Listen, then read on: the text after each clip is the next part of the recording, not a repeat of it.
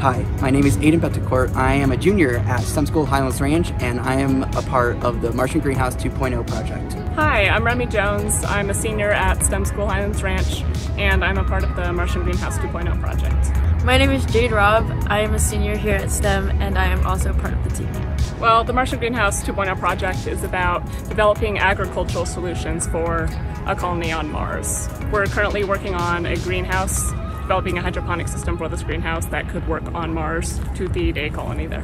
The work that we've been doing is we basically have been researching what type of environment Mars has, as well as what type of structures that the greenhouse that we want to build on Mars should look like. For me, I've been um, finding hydroponic and aquaponic solutions, researching into that, and finding solar, pos possible renewable energy sources to keep things afloat for the colony and I've also been doing research into the polar ice cap and how we can utilize that to sustain water.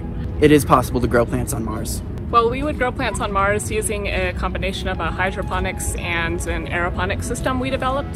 Basically, to conserve dirt and to conserve water, these systems were the best option for growth on Mars. So our team is coming up with a plan to actually build a hydroponic and aeroponics system to sort of have a physical idea of what the actual model would look like on Mars and we're just going to build this as well as grow plants to see how it would function as well.